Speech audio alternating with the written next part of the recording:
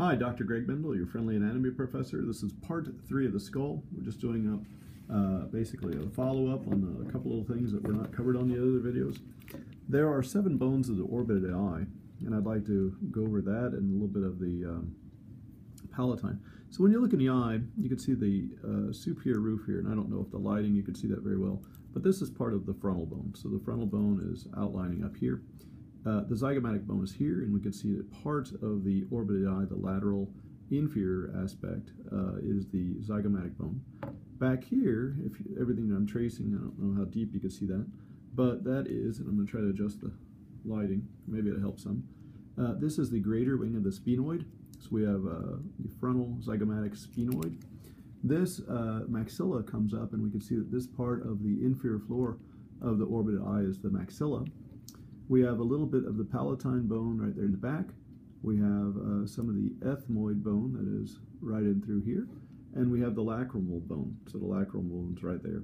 So that is the seven bones of the orbit of the eye. Notice that the nasal bone is not part of the orbit of the eye. Uh, when we look underneath um, here on the roof of the uh, mouth, there's a few things we didn't uh, list or go over yet. And so I wanted to go over that. You can see that there's this little hole, oops, sorry, this thing's in the way. There we go. So you can see that this is basically the roof of the mouth, and this is made up of two bones. The first bone here is part of the maxilla. But what this is called is the palatine process of the maxilla. We can see that it is uh, has a little uh, division in the center here. That's the median palatine suture. And up in the very front, uh, right here is a little hole, and that is the incisive fossa. The very uh, seriously doubt that would be tagged. I don't even think it's in your uh, lab book.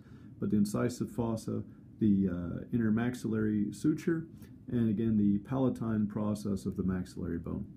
If we look, there is another bone right here, and so this bone is uh, called the horizontal plate of the palatine bone. So this is a palatine bone, but the horizontal plate of the palatine and this is the maxilla. So palatine, maxilla, uh, two different bones here forming the roof of the, the mouth. We see that this is still part of the bone called the vomer. And so the, the vomer is here and it meets up with the perpendicular plate of the ethmoid bone. I think that is everything that we did not name earlier. All right, good luck on the test.